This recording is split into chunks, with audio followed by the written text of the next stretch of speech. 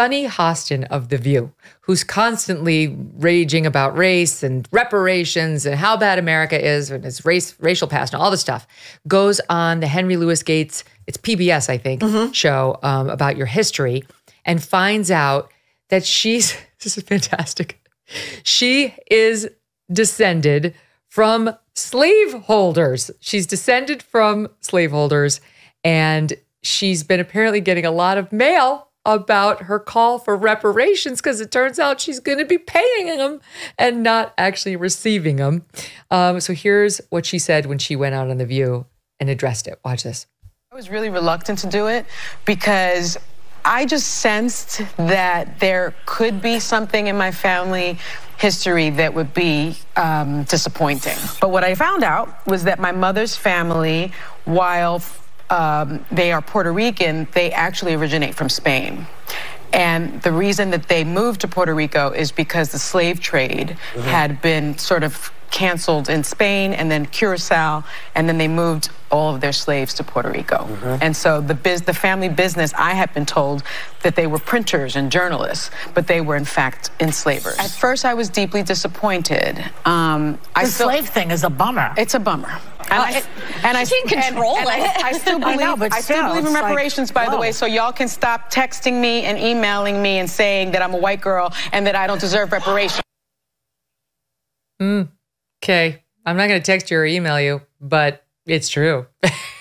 Guess there's nothing worse than to find out you're a white woman. She's so disappointed. It's really disappointing. Her mother was white. oh my the god. shame. Oh my god. The horror. Oh my god! But you know the other thing about this is just so fascinating to me. She's talking about her her ancestors migrating from Spain to Puerto Rico, Puerto Rico.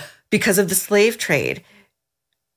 What goes on in America? You would think we were the only country on earth Yeah. to have ever had slavery. This is endemic to the human condition. It really is. And Sunny Hostin, I'm sure, is disappointed. She's she's the self-appointed expert of all things Black America on the View. You would not know there was another Black woman on that panel, Yeah. or a Latina woman on that panel. She is self-appointed. She knows everything.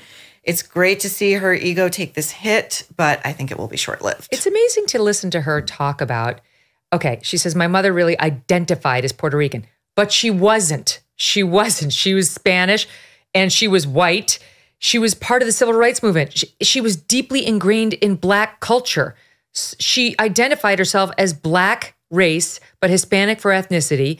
But it turns out her race is white. She's European. So she was a poser. She Well, was she- a Rachel Dolezal, is what you're saying. I was just going to say that. Didn't she also say her mother had blonde hair and blue eyes? Yes. That was the tip off? Yes. That something might be amiss? And she always suspected because of the blonde hair and the light eyes. Inside, I sort of knew this was my history. That's probably why I didn't want to do it. Right. The shame of coming from a white person, the horror.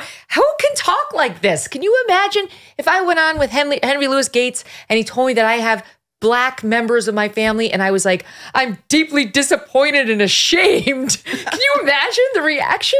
How dare she talk about white people like that? She gets away with it.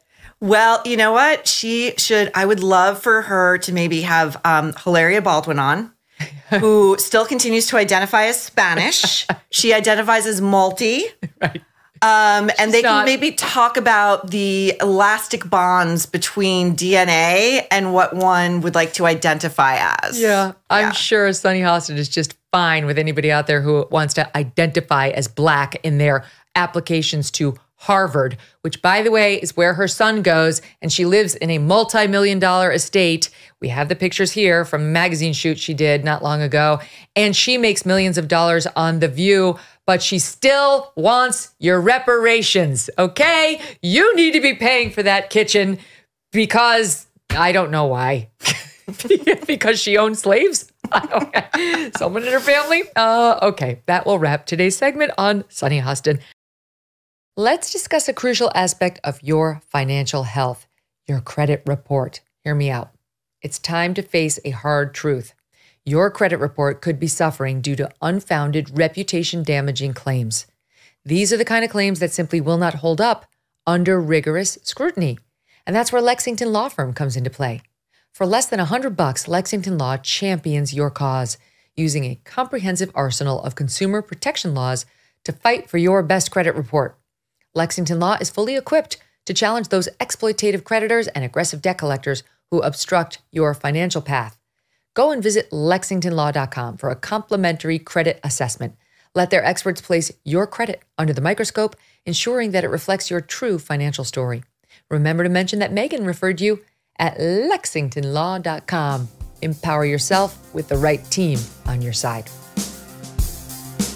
Hey, thanks so much for watching. If you like what you just saw, hit the subscribe button for more clips and full episodes.